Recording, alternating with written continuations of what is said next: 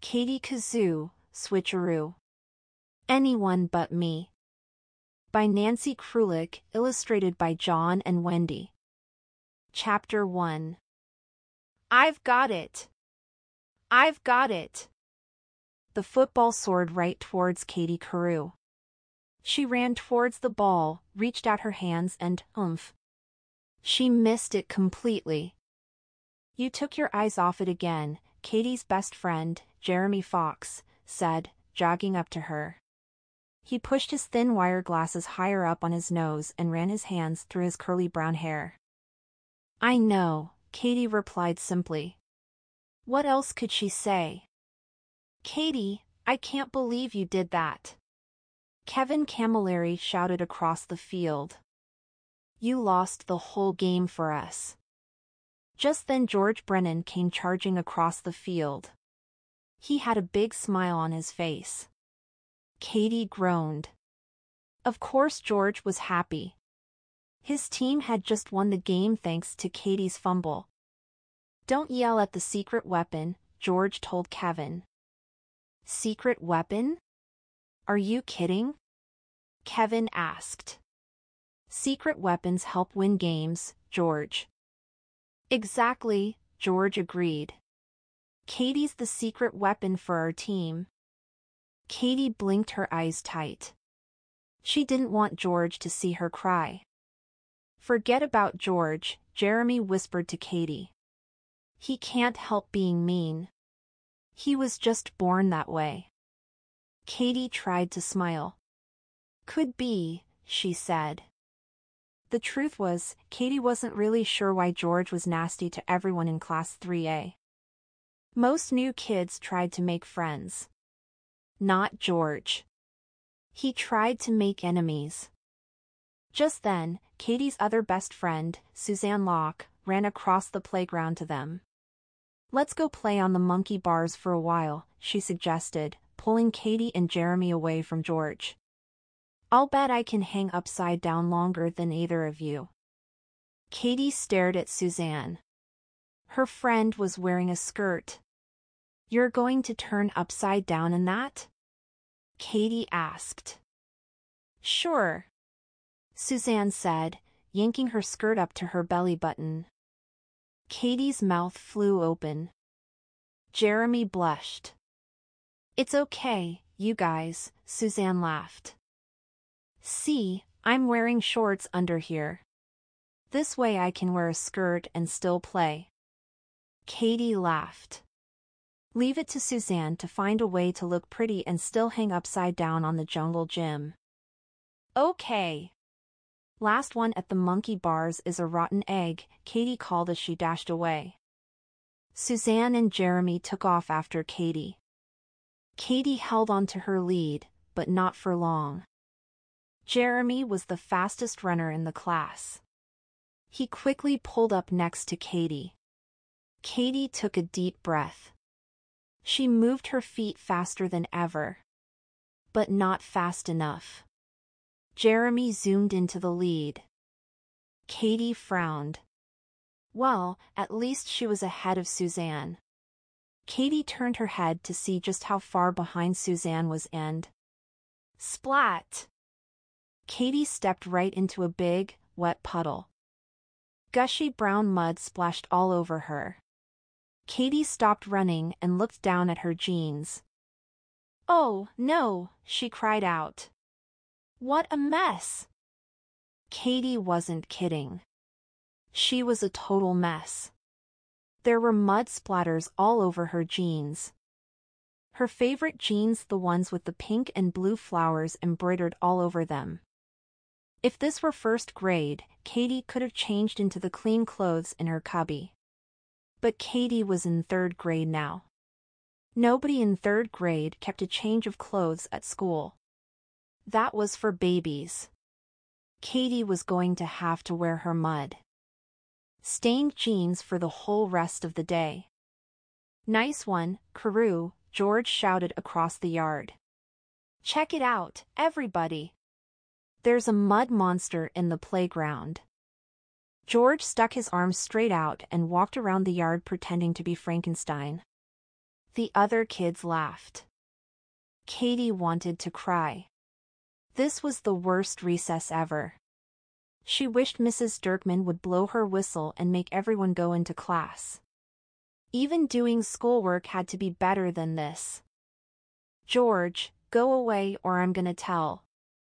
Suzanne warned as she ran over to defend her friend. A big smile formed on George's chubby, round face. Yeah, like I'm real scared, he laughed while he pretended to tremble. What's Mrs. Jerkman going to do? Call my mommy? Katie and Suzanne stared at George in amazement. He just called their teacher, Mrs. Derkman, a mean name and he hadn't even whispered it. He didn't seem scared to have the teacher phone his mom either. Before Katie or Suzanne could answer George, Mrs. Derkman blew her red whistle three times. Phew! Recess was over. It was time to go back to class. Katie was very glad. She used her hands to wipe off some of the mud and then ran to line up. You okay? Jeremy whispered to Katie. I guess, Katie replied. George is a creep. You know that. Katie nodded. But knowing that wasn't going to make George stop calling her the mud monster. He'd probably go at it all day, unless. Katie couldn't help wishing that someone else would do something embarrassing that afternoon. Then maybe George Brennan would tease that kid instead. Chapter 2 this is for you, Kevin whispered to Katie. He handed her a note. It was written on light blue paper and folded up really small. Katie knew it was from Suzanne. Her notes always looked like that. If you have an answer for her, send it yourself, Kevin told Katie. I don't want to get into trouble again. Katie understood. Kevin sat at the desk right between Suzanne and Katie. He always wound up passing notes from girl to girl. Yesterday, Mrs. Derkman had caught Kevin passing a note from Katie to Suzanne. Kevin had had to write an apology note to Mrs. Derkman. Katie unfolded the paper. Do you want to come over after school? The note read. Katie scribbled her answer on the bottom of the note. No, thanks. I have to go home and change. Maybe tomorrow? Katie tossed the paper over Kevin's head. It landed right on Suzanne's desk. Katie crossed her fingers, hoping Mrs. Derkman didn't see. Katie lucked out. Mrs. Derkman didn't notice the flying note. She was too busy writing on the board. Okay, take out your pencils and math notebooks. Today we're going to review subtraction with borrowing, the teacher announced. Katie gulped. Whenever Mrs. Derkman said the word review, it meant that she was going to ask some of the kids in the class to go to the board and solve the problems in front of everyone. Katie slid down low in her chair, hoping Mrs. Derkman wouldn't notice her. She didn't want to be one of the kids who were called on. It wasn't that Katie couldn't do subtraction with borrowing. It was more that she hated being in front of the whole class. They'll try one, Mrs. Derkman, Suzanne volunteered. Katie sighed. Suzanne never worried about making a mistake in front of the whole class. She just liked being the center of attention. Katie wished she could be more like that. But today, Mrs. Derkman didn't ask Suzanne to come up to the board. She picked Mandy Banks, Zoe Cantor, and Jeremy instead. Mandy went first. She whizzed through her problem. No surprise there she was like a computer when it came to math. Next it was Zoe's turn. All right, Zoe, Mrs. Derkman said as Zoe walked up to the board. What will you get when you subtract 152 from 901? The wrong answer. George joked out loud. Some kids in the class giggled. Zoe blushed. Katie thought it was really mean of George to joke around like that. Everyone knew Zoe had a lot of trouble with math. Mrs. Derkman looked sternly over at George, but she smiled at Zoe. Go ahead, she said to her. We'll do it together. When it was his turn, Jeremy took his time solving the subtraction problem. Katie smiled. That was Jeremy, slow and steady like the tortoise in the story of the tortoise and the hare. Sometimes Jeremy's careful slowness could get kind of annoying. But not today. As long as Jeremy's up there, Mrs. Derkman won't call on me, Katie thought to herself. But eventually Jeremy did finish the problem. And he got the right answer, as usual. Mrs. Derkman smiled and wrote another math problem on the board. Let's do one more, she said. Katie sunk even lower in her chair. Her lip was practically resting on her desk. But it was no use. Mrs. Derkman saw her anyway. Katie, will you solve this for us? the teacher asked. Katie sighed. She stood up and slowly walked toward the board. Here comes the mud monster. Katie heard George whisper as she walked past his desk. Katie didn't want to walk past George, but she had no choice. He sat right in the front row where Mrs. Derkman could keep an eye on him. Katie reached the board and picked up a piece of yellow chalk. She opened her mouth to take a deep, calming breath.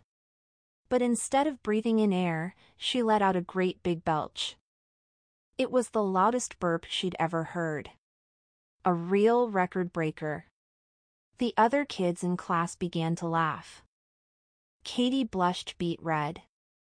I'm sorry, she apologized to Mrs. Derkman. Katie didn't want her teacher to think she'd done that on purpose. Out of the corner of her eye, Katie could see George holding his nose. He was pretending to die from the smell of her breath. Katie's stinking up the classroom. George exclaimed. He laughed so hard, he nearly fell off his chair. Chapter 3 For the rest of that day, everywhere Katie looked, someone was laughing at her. Mostly because George kept cracking jokes. Hey, Mud Monster, can you burp a song for us? he asked. I can. George began to belch out the ABC song. By the time he got to Z, the other kids were all giggling. Hey, you know something? George announced. Burping a song kinda sounds like a kazoo. That's what your name should be, Katie. Not Katie Carew. Katie Kazoo! Then he started chanting, Katie Kazoo, Katie Kazoo, over and over again. The other kids began to join in. Katie Kazoo. Katie Kazoo. Katie Kazoo. Katie Kazoo. Katie sank down in her chair. She tried hard not to cry.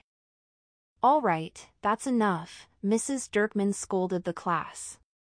She turned to George. I'm sending a note home to your mother. I expect you to bring it back to me with her signature. George shrugged as if he didn't care. As the afternoon went on, Katie wished the other kids would stop laughing when George teased her. He really wasn't all that funny. But she did kind of understand why the kids kept laughing. If they didn't, George might make fun of them next. Before school ended, Katie walked over toward the window, where the hamster cage was. It was her turn to feed Speedy this week. Hamsters are so lucky, Katie thought to herself as she watched Speedy running on his wheel. They never have bad days. Every day is just the same for them. Finally, the bell rang. The day was over. Katie grabbed her books and ran for the door. She had to make sure she was the first one out of the classroom. But it didn't matter. George caught up to Katie right away. He followed her halfway home. Katie Kazoo, I see you, he shouted. Hey, Katie, wait up. Katie could hear Jeremy calling after her as she ran towards her house. She knew he just wanted to make her feel better. But Katie didn't stop. She didn't want to hang out with Jeremy. She just wanted to get home, go upstairs to her room, and shut the door. Even that wasn't easy to do. When Katie got home, her mother was sitting on the front steps, waiting for her. Hi, Kat.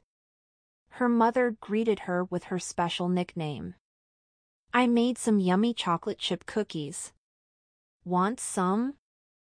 I, um, I'm not hungry right now, Katie mumbled. She raced past her and opened the screen door.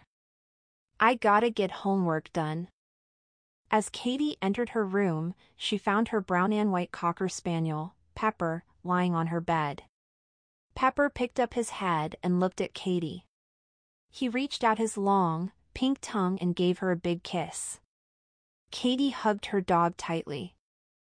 Thanks, Pepper, she whispered quietly into his brown floppy ear. At least someone isn't making fun of me today.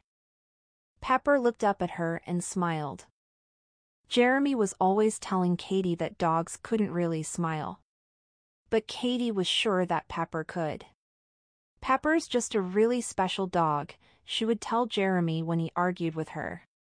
He's even smarter than people. Now, as Pepper lay his head in her lap, Katie decided that even if her Cocker Spaniel wasn't smarter than people, he certainly was nicer.